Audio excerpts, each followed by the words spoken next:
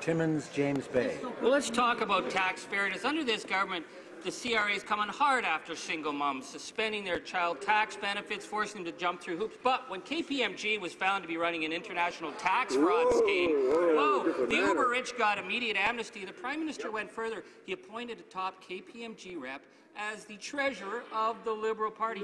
Doesn't the Prime Minister understand the basic principle of conflict of interest? Why is he putting the interest of the big Liberal money machine ahead of ordinary Canadians who play by the rules, pay their fair share, and listen and work hard?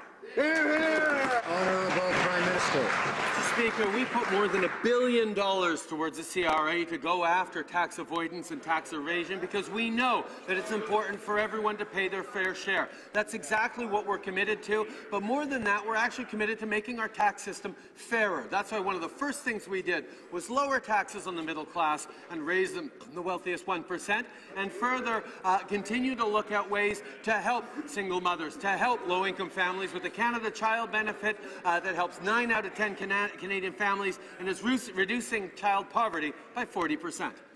Honourable member for Timmins James Bay. Really?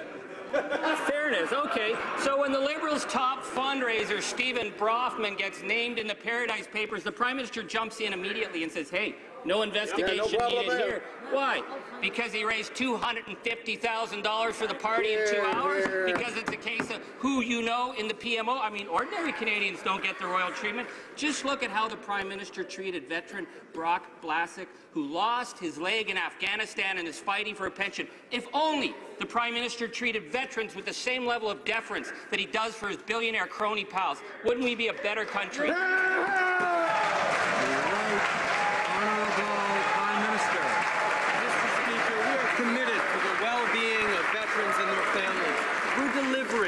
lifetime pension commitment, which includes benefits and generous, generous programs designed to help veterans live a full and productive life. This is in stark contrast to the previous Conservative government that for 10 years cut veterans' offices, cut frontline services, nickel and dime veterans while wrapping themselves in the flag.